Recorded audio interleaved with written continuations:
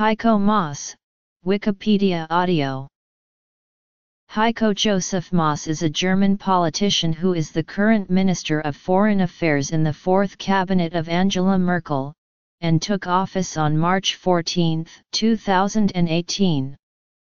He served as Federal Minister of Justice and Consumer Protection from December 17, 2013 to March 14, 2018.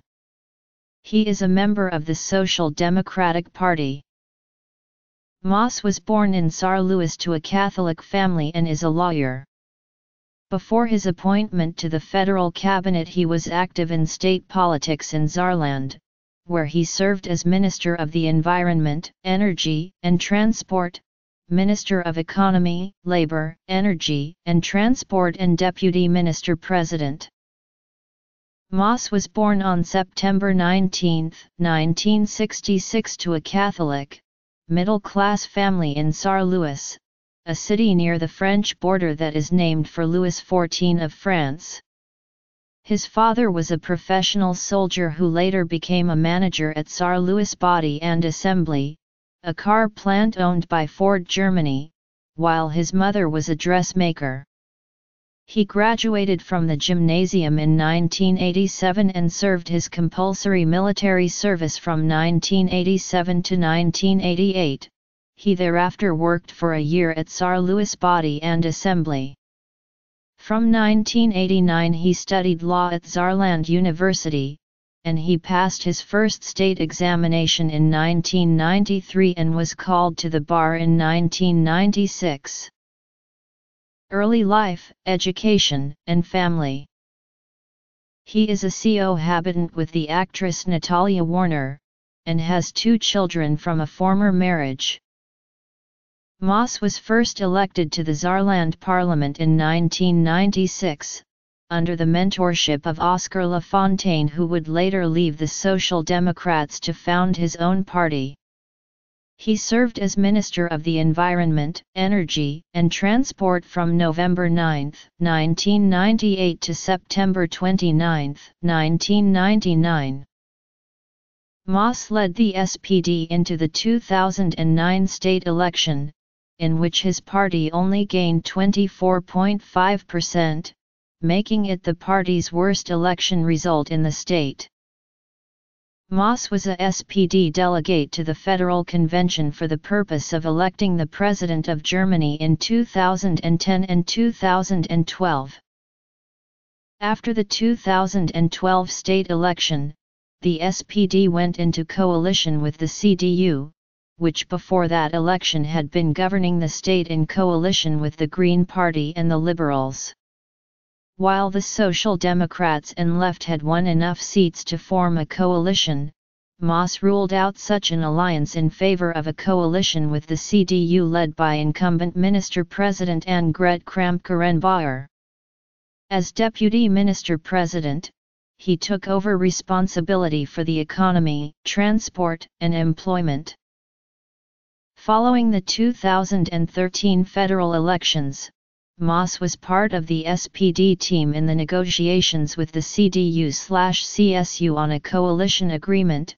He was a member of the Energy Policy Working Group led by Peter Altmaier and Hannelore Kraft. On December 17, 2013, he was sworn in as the Minister of Justice and Consumer Protection in the third cabinet of Chancellor Angela Merkel, succeeding Sabine Leutheusser-Schnarrenberger. He left his position of Deputy Minister President of the Saarland and Minister of Economy, Labour, Energy, and Transport he was holding since May 9, 2012. He earned the nickname Prohibition Minister by the Frankfurter Allgemeine Zeitung for his many unapproved legislative proposals. In June 2017, Maas disclosed to the Bild newspaper that he was the recent recipient of an unprecedented number of death threats including a bullet casing in the mailbox of his private residence. He attributed the threats to dissatisfaction with current German immigration policy. Following the release of the Senate Intelligence Committee report on CIA torture in December 2014, Maas told German newspaper Bild, the CIA's practice of torture is gruesome everybody involved must be legally prosecuted. Political career In early 2015, Maas successfully introduced a new law meant to mitigate radical Islamist attacks, by making it a criminal offense to travel abroad to receive military training. Shortly after, he and Interior Minister Thomas de Maizière jointly submitted a draft law permitting the temporary retention of Internet and telephone data excluding email traffic to aid criminal investigations. In July 2015, Maas announced plans to amend Germany's penal code on sexual assault in accordance with the Istanbul Convention of the Council of Europe. The reform is to punish abuse which exploits a victim's fear of a perceived menace and tighten sentences in rape cases. In August 2015, Maas initiated the dismissal and retirement of Chief Federal Prosecutor Harald Range his ministry had questioned Range's decision to open a much criticized treason investigation against journalists of Netzpolitik.org who had reported about plans of Germany's domestic spy agency the Federal Office for the Protection of the Constitution to expand surveillance of online communication. Range, meanwhile, had accused the government of interfering in the investigation. In a 2014 interview with the Financial Times, Maas called it not acceptable that Google dominates the search engine world, and is able to rank its search results in a manner apt to promote its own business interests. In 2015, he endorsed criticism expressed by Federation of German consumer organizations which held that Facebook's data protection terms were too vague. Later that year, he publicly accused Facebook of doing too little to thwart racist posts and hate comments on the social media platform. After the Netzpolitik scandal in 2015, where a German-language blog leaked top-secret documents, Maas proposed new legislation called Data Stolen Goods. Ulf Bürgermeier, a judge of the district court in Berlin cautioned that this anti-whistleblower law would be a massive attack on democracy and freedom of speech. The law was passed as Section 202d of the German Penal Code by the Bundestag on October 16, 2015. In early 2017, Maas proposed the Netzwerk Netzwerkdurchsetzungsgesetz to combat online hate speech and fake news. The United Nations responded with a letter, warning that several democratic freedoms were under attack. The proposed law was met with criticism throughout Germany from industry associations, IT experts, scientists, net politicians, lawyers, privacy activists, and civil rights campaigners who regard it as unconstitutional and defiant of EU law and warn of catastrophic effects for freedom of expression, causing online platforms to drastically censor online speech, resulting in privatization of legal enforcement and abolishing online anonymity.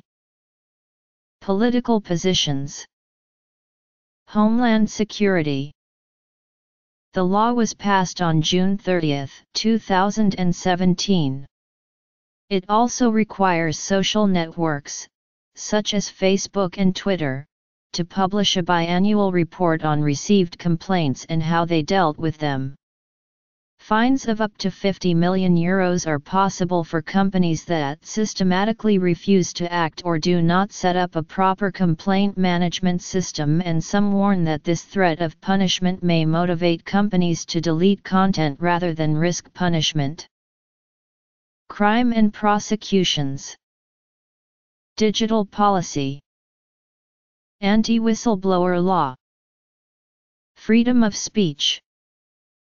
State Trojan horse surveillance. On June 22, 2017, Maas expanded by 27 the number of offenses for which a lawful online search using malware can be used. Experts and civil rights defenders have strongly criticized the law for being a gross provocation, violating privacy, and undermining cybersecurity. Maas has also been accused of using tricks for the proceeding of passing these amendments and using a backdoor that has nothing to do with democratic debate culture. After the massive sexual assaults of New Year 2016 in Cologne, Heiko Maas wanted to reform sexual prosecution laws. Tonio Walter, writing an op-ed in Die Zeit, said that the law was overly broad, under a proposed ban on groping, he claimed, a wife could be punished for embracing her husband from behind, while rules against sex by coercion could punish a boss whose employee consented to sex under a fear of losing the job. Walter likewise said that the penalty of 10 years in prison for a sexual assault and 15 for rape by coercion would be too much, noting that non-sexual assaults received a lesser penalty under the laws. In April 2016, Maas called for a legal ban on sexist advertisements, which reduce women or men to sexual objects. Germany's Association of Communications Agencies observed that it is a subjective matter of taste whether an advertisement is sexist or not. FDP leader Christian Lindner remarked that the proposed ban indicated a similar mindset as radical Islamic leaders. Gender policy Maas enjoys football and is a triathlete. He is married and has two children. Law governing sexual offenses. Sexist advertisement. Other activities. Regulatory agencies. Corporate board. Non-profit organizations. Personal life.